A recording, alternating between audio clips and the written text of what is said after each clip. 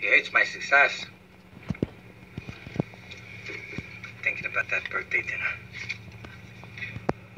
Who was there when I told the Ginny sack joke? Uh, Paulie.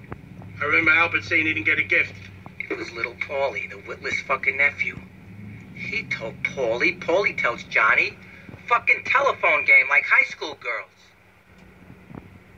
Want to play phone games? That party was the only time I ever mentioned Shamu's fat ass. Hello, Verona Green Grove uh, Retirement Home, something. Just connect me. Fuck you doing? Yeah, hello? Uh, I'd like to talk to a Mrs. Gualtieri. She's a resident there. One moment, please.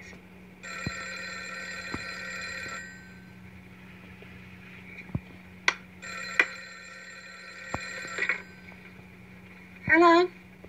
Mrs. Marianucci Gualtieri? Yes. Hi, this is Detective Mike Hunt, Beaver Falls, Pennsylvania Police Department. you have a son, Peter Paul? Oh my God, what happened? He's all right, ma'am, but I'm afraid he's in a little trouble.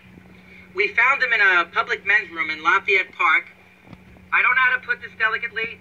He was sucking a Cub Scout stick. What? No, it's a mistake. Ma'am, I wish that was all. Uh, but I'm afraid we had to have emergency surgery performed upon arrival at headquarters after discovery of a small rodent in the rectal passage. Oh my God. A gerbil, ma'am. Uh, the county does not cover medical procedures deemed caused by criminal sexual activity. Section 4, paragraph 15. We'll need an insurance number. Oh, Maroon, I have Blue Cross Blue Shield, is that all right? Ma- ma'am, c- could you hold on for one second? I have the hospital on the other line.